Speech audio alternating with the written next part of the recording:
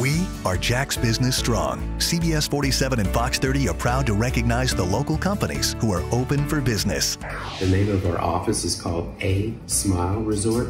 We're open to help patients with dental emergencies, and we follow very strict CDC guidelines to make sure everyone's safe.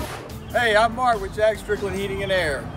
Hope everybody's doing well and safe, and we are open for business. Take care, everybody.